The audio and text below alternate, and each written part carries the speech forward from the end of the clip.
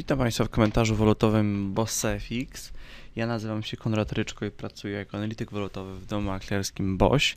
Dzisiaj mamy dzień 11 lutego, godzina 7.40. W związku z tym zapraszam Państwa do omówienia sytuacji na czterech najciekawszych moim zdaniem w tej chwili parach walutowych. E, tradycyjnie zaczynam od rynku euro-dolara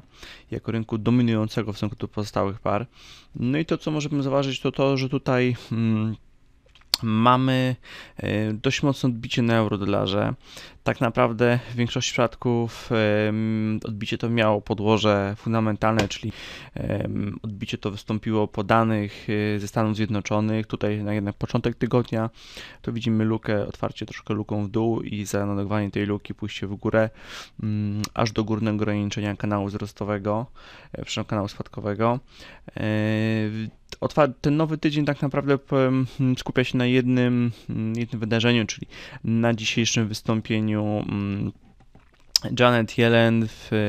przed niższą izbą e, amerykańskiego kongresu, czyli przed Izbą Reprezentantów, e, nowo wybrana szefowa Fed, dokładnie występować będzie przed Komisją do Spraw Usług Finansowych. No i rynek e, zastanawia się, zastanawia się dokładnie, co nowo wybrana szefowa m, zaprezentuje. Tutaj w większości przypadków oczekuje się, że to jej stanowisko będzie zbliżone do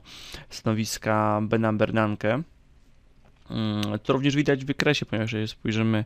niższy układ, to widzimy tutaj jakieś podbicie, e, podbicie euro-dolara, czyli spadek wartości amerykańskiej waluty przed tym wystąpieniem. E, rynek ogólnie spodziewa się dosyć głębiego nastawienia, także pole do ewentualnego tutaj jakiejś negatywnej, negatywnej niespodzianki jest, mm, jest dość duże, tym bardziej, że to układ techniczny by to wspierał, czyli podejście pod górne, górną bandę trendu spadkowego e, raczej sugeruje nam, że to może być jakieś cofnięcie kwotowe, niż próba wyjścia z tego zakresu. Oczywiście, jeżeli, jeżeli byśmy zaczęli wyjście mm, przez tą linię trendu mm, tutaj spadkowego, to prawdopodobnie w krótkim okresie zobaczyliśmy również test okolicy 1,37-39, e, także tutaj warto warto obserwować dzisiejsze wydarzenia, ponieważ mogą one być jakby takim mm, inhibitorem, katalizatorem e, do, do ruchów, do ruchów, e, ewentualnych ruchów w dalszej części tygodnia. Drugą parą jest e, węgierski forint, o którym tutaj e, chciałem wspomnieć, ponieważ jak Państwo widzą, mieliśmy dość duży, dość duży spadek e, węgierskiej waluty w trakcie wczorajszej sesji. Ten spadek wynikał nie, jak to zwyczajowo ostatnio było, z, z pogorszenia nastrojów wokół walut rynków wschodzących jako koszyka, ale dokładnie problemów Węgier, a dokładnie problemów forinta, czyli mm, plotek o ewentualnych obniżkach e, stóp procentowych podczas najbliższych posiedzeń. No jak widać tutaj mm, dość mocny, dość mocny ruch. E, jesteśmy cały czas, widać, że ten forint jest jedną z tych bardziej tutaj narażonych na osłabienie walut, ponieważ jeżeli zestawimy go na przykład z polskim złotym, to widzimy, że tak naprawdę na złotym nie było mocniejszej reakcji, a dwa, że ta korekta, która tutaj była jakby analogiczna ze sobą,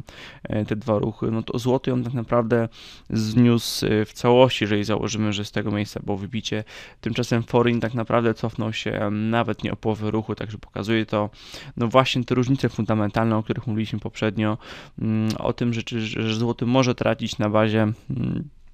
pogorszenia się nastrojów wokół walut rynków wschodzących, ale te silne fundamenty i optymistyczne prognozy gospodarcze, one cały czas będą działały na złotego. No jak widać przy pierwszej okazji e, już, już ten scenariusz został potwierdzony i prawdopodobnie będzie to scenariusz bazowy na cały rok 2014. E, tutaj na złotym, tak jak napisałem w moim porannym komentarzu mm, dotyczącym rynku złotego, mm, to w tej chwili wydaje mi się, że przejdziemy pewnie jakiś zakres konsolidacji 4,17, 4,20 no wydaje się, że tutaj raczej po tak, e, tak zmiennych sesjach powinno nastąpić uspokojenie sytuacji przed ewentualnym dalszym umocnieniem polskiej waluty, także um, wydaje się, że, to, że scenariusz konsolidacji na złotym jest teraz tym scenariuszem, który będziemy obserwować prawdopodobnie do końca tygodnia. Um, ostatnim z jest Eurofund, Eurofund, który um, który tutaj chciałem pokazać z uwagi e, na dość ciekawy układ, ponieważ jesteśmy przy górnym ograniczeniu tego trendu, mm, trendu spadkowego, czyli ewentualne wybicie mm, powyżej zakresu 0,80 33,5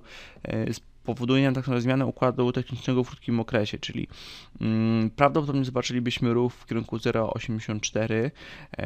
tutaj jakieś próby cofnięcia i dalszy ruch w górę, także jest to,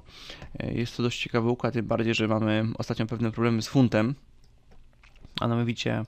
e, oczekiwany raport na temat, oczekiwany raport na temat inflacji mm, na wyspach. Prawdopodobnie przyniesie nam również prezentację e, założeń Bank of England, czyli tak zwany forward guidance, czyli mm, to mm, czego rynek się troszkę obawia, ponieważ e, wcześniej inwestorzy na funcie grali po to, że Bank Anglii zdecyduje się podwyższyć stopy szybciej niż to oficjalnie sugeruje. Tymczasem ostatnie gorsze dane z tamtejszej gospodarki mm, pokazują, że jednak ten forward guidance może utwierdzić rynek w przekonaniu, że wstrzyma się z podwyżkami stóp aż do 2015 roku, a to będzie niekorzystne dla funta, niekorzystne dla naszego scenariusza wyjścia w górę na, na parze eurofund. Dziękuję za uwagę.